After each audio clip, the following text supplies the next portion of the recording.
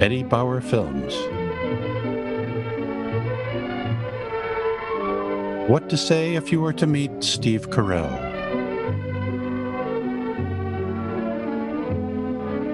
Oh, the ham's done. Put a Faulkner in it. I love Faulkner's writing.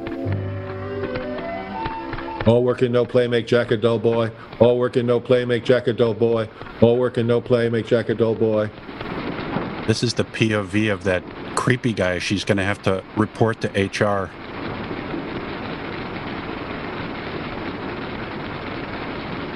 I remember that beginning typing class as if it were yesterday. I was lucky enough to have Miss Purcell as my teacher.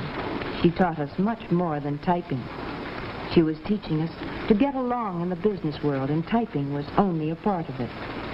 All right, class, stop The typing, gateway. please. Before we go on with the next exercise, I'd like to make one of my little speeches. This Oh, is boy. your first course in preparing Do I get for paid an office now? job. You're starting a new career. It can be fun, or it can be hard. It all depends Be on the way you look at it. It's gonna be hard. attitude. For instance, do a better job than her. In an office. Well, don't forget I'm the third one in line. rule works there just as it does anywhere. Nerd girls, I love them. Treat others as you want to be treated. I like to be Here's how humiliated. This will work out great. First, of course, know your job. Enjoy it. But also enjoy the people that you're working with. Be considerate Wait, let me make a list. And be considerate of your employer. Remember those I'm gonna go simple on rules welfare. of office etiquette, and you'll get along in the business world. Now then, let's do skill building practice eight. Same margin. Begin typing when ready. A lost art typing.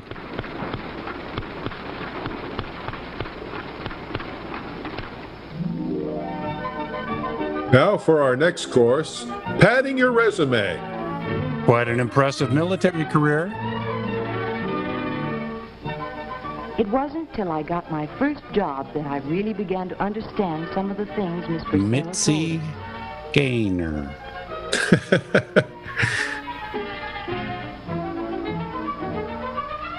Let's see. I could never work for a fat, old, balding, I think this sexist fart like. Oh, I. out all right, sorry. Arnold. Thank you. I see you're a student of Miss Purcell's. We've a number of her former students with us. Her recommendation means a great deal here. I enjoyed being in her classes. You did very well on your test. Now for the swimsuit competition. Monday oh, that would be wonderful, Mr. Arnold. We're a small organization, Miss Spencer. Just me. find that getting along with people is pretty important. Do you think you can do that? Oh, yes, I think I can. Fine. We'll see you Monday. I believe your coat's in the outer office? Yes, You can buy it back from the company at four times the price. and thank you. At the company store. I was a little worried about that first job. I guess everybody is. But Miss Purcell's advice kept running through my head. First of all, know your work. Enjoy it. And also enjoy the people that you're working with. Be considerate of them. Miss Purcell, And be considerate get out of my head! Remember those simple rules of office etiquette, and you'll get along in the business world. Hmm. I planned to get there early that first day. I wore my good suit because it was plain and neat and seemed just right for an office. I wore my slutty clothes the second day. Who's got a machine gun? Let him have it, she. Good morning. I'm Joan Spencer. Oh, yes, Miss Spencer, we're expecting you. Miss Hamilton will be your supervisor, and she's on her way in now. Won't you have a seat? Thank you. Do I have to? How do you do, Miss Spencer? Ready to go to work? I'm looking forward to it, Mr. Arnold. Good morning. Good morning, Miss Hamilton. This is I enjoyed your play very much. stenographer and file clerk who's starting this morning. How do you do, Miss Spencer? I understand you're one of Miss Purcell's students. Miss Purcell, Miss Purcell, I have a life of my own. I'll show you where to leave your things, and then we can get to work. All right. Well, on to the kill floor. Girls, this is Miss Spencer. Please kill us. Miss Hamilton and Mr. Arnold certainly set a good example of courtesy for us to follow. This will be your desk. You'll work here for 30 years and lose your contains Some pension. of our forms and procedures. Study it a while, and then we'll start you on your first assignment. All right. Forms and procedures? This is off the hook! Sorry, I have IBS.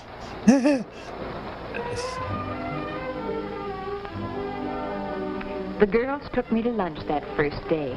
On the set of Westworld. We had oysters and martinis, and I threw up a lot.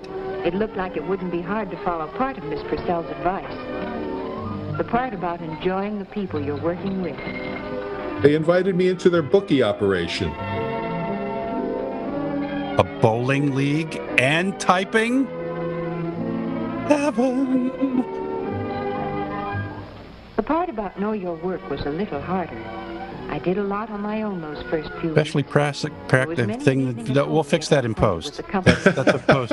Oh, it's live. business terms. What a long time ago that was. You just saw me crash. It hardly seems possible now there was ever a time when I didn't know those terms. Does she work for Laurel and Hardy? I found I still had a lot to learn. Some of it I learned the hard way. Like where the bathroom was. I didn't know for weeks.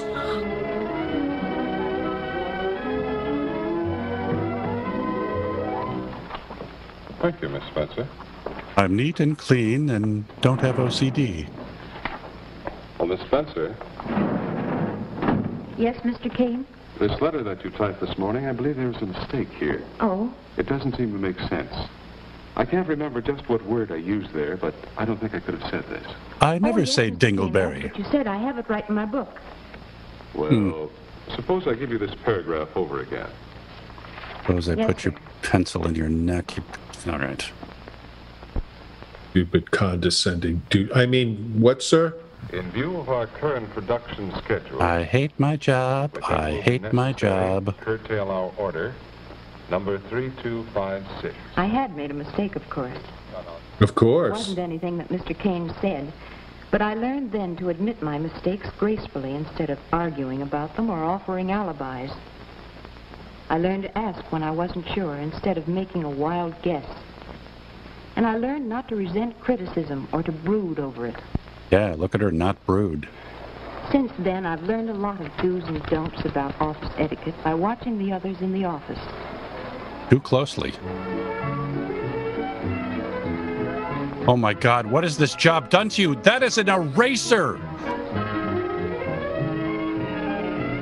I learned that Good, Mr. though. Purcell's short sentence, be considerate of your employer, could cover a whole multitude of things.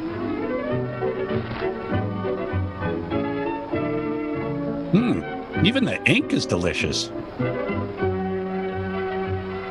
One of the most important things, of course, was doing office work during office hours. Yes. This. This is what I'm into. I'm into this. This is my thing. I like this kind of stuff. How dare any of you judge me? That little office tubing. Back to work. Fresh as today's headlines.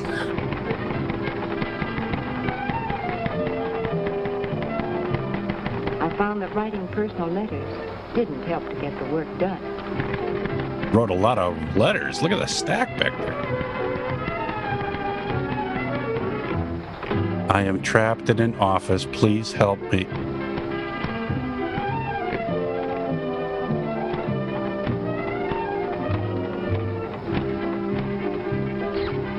Feeling joy is so unprofessional.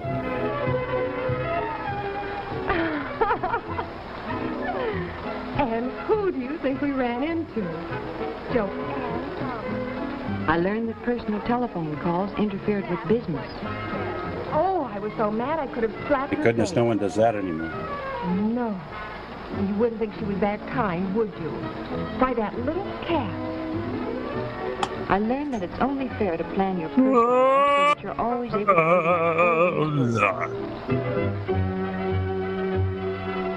I've just died at my desk. I'm alive again. Pay me. And that means working right up to the end of the day.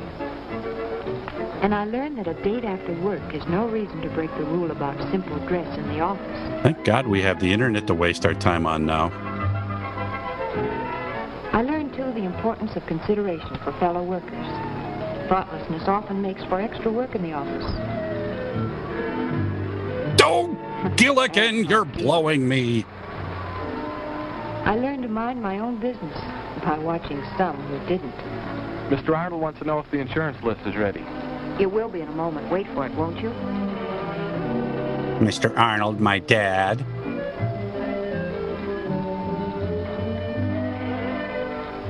You know you shouldn't do that, Jimmy. Do what? Exist? This guy has takes his dick out at a Zoom meeting written all over him. But most of what I learned came from the people who really know their jobs. The pushers. I importance of neatness and organization in planning work. Even though decades later, none of it mattered, because you're all going to die. And even though I kept getting more things to take care of, Collating? Can I could help? others, and times when they would return the favor. All these things became even more important when I became Mr. Arnold's secretary. The one his wife doesn't know about. Public relations as well as personnel, so I had plenty to do. I had more contact with people outside the company, and I learned the importance of consideration for them too, and especially courtesy on the telephone. What the Good fuck do you want? Mr. Office. He's in conference just now. This is his secretary. May I help you? The Acme Printing Company. What? Oh, yes. One million dollars? Yes. Ransom?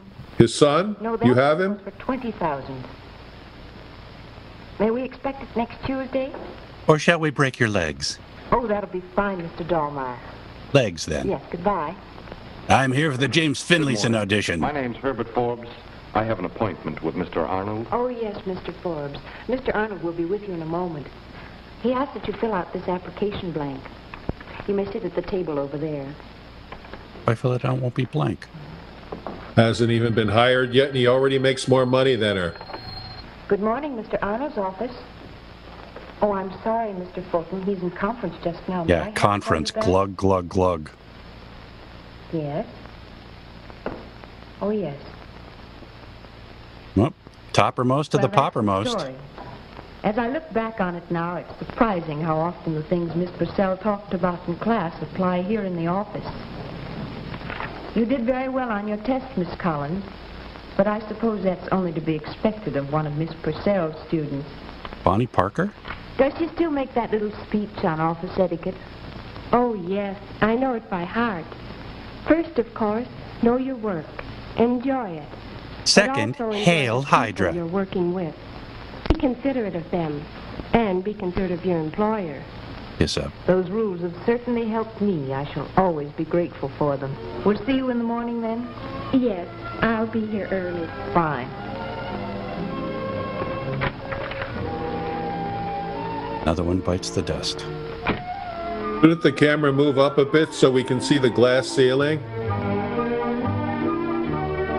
Oh, I get it. I'm gonna die here.